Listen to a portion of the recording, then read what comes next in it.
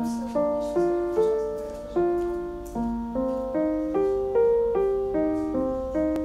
Наверное, каждому из нас в детстве читали сказки Александра Сергеевича Пушкина о семи богатырях, о царе Салтане, о прекрасной царевне Лебеде.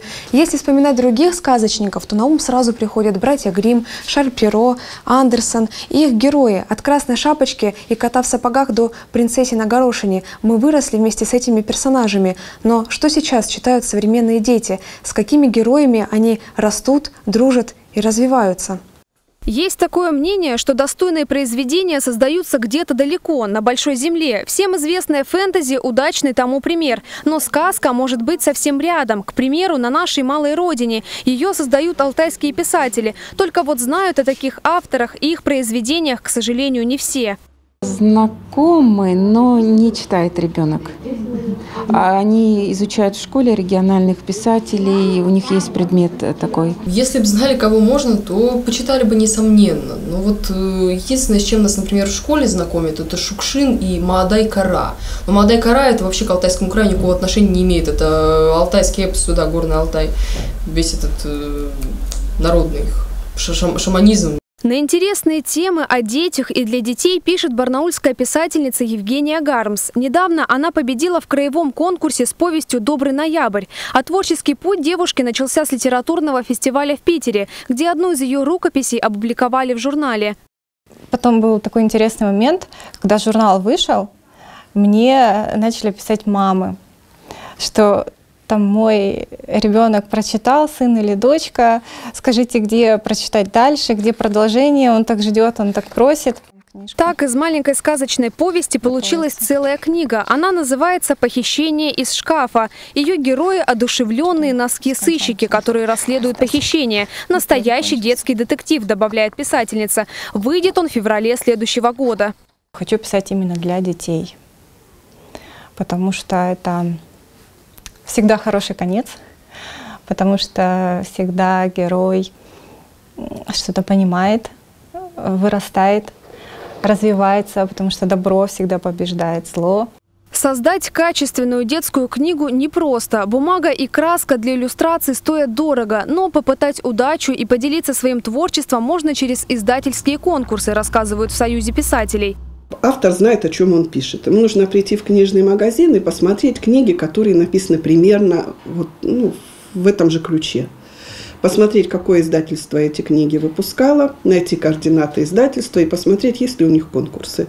Ну, либо просто отправить самотеком. Сейчас очень многие издательства конкурсы проводят. Есть конкурсы и краевого уровня. В книжные магазины через них попасть не получится, но в местные библиотеки можно. Там книги точно найдут своего читателя. В нашей библиотеке достаточно много произведений алтайских детских писателей. Сейчас действует издательский план губернаторский, в рамках которого выпускаются книги. А, жалко, что это всего одна-две книги в год. То, что задают в школах, тоже это все в основном старая программа, но мы радуемся, удивляемся, когда учителя задают современных писателей. Ни для кого не секрет, что в школах на изучение региональной литературы отводится мало часов, да и тяжеловесную классику никто не отменял в пятом и шестом классе лишь только отводится приблизительно два часа в год в каждом из классов на региональную литературу. Причем а, в этих классах есть рекомендации для учителей, кого из авторов а, можно взять на изучение. И, к большому сожалению, именно алтайских а, писателей, поэтов в этих рекомендациях нет. Поэтому школы создают литературные уголки, посвященные творчеству наших авторов. Библиотеку 52-го лицея дети посещают с удовольствием. Спрос, на удивление, высокий. Книги наших авторов дети зачитывают, что называется, до дыр. Видите, уже переплет у нее покосился, потому что в портфель плохо, книга большая, они ее любят, потому что они восхищаются, большой формат, они говорят, какая книга красивая и зеленая. Есть в школе и двухтомник «Алтайские писатели детям», в котором от А до Я собраны произведения наших авторов с их биографией, интересными фактами и иллюстрациями. Но одного экземпляра на всех учеников не хватает. Мы вынуждены заниматься только в читательском зале, брать, э, ну, либо распечатывать, э, либо как-то э, выводить на экран, что не всегда удобно. А если бы было побольше и можно было бы взять каждому ребенку и следить, то думаю, что нам не нужны бы были компьютеры, телефоны, дети бы увлекают, увлеченные чтением, они как раз предпочитают больше книгу. Региональной литературы в школе мало, но встроить ее в образовательный процесс все равно можно, добавляют учителя. К примеру, во время литературных гостиных или в часы внеурочной деятельности. Посещение литературных выставок, музеев, несомненно, чтобы просто привлечь внимание ребенка к этой литературе и понимать, что это не только то, что было когда-то, Достоевский приезжал да, на Алтай и так далее, что сейчас литература-то тоже живая, она интересна алтайская.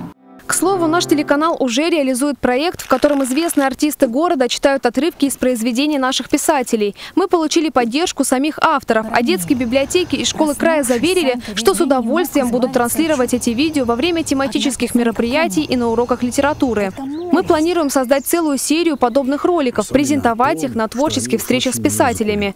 Юлия Нифонтова, Ольга Токмакова, Елена Ожич, Евгения Гармс. Все они наши соседи и творят сказку совсем рядом.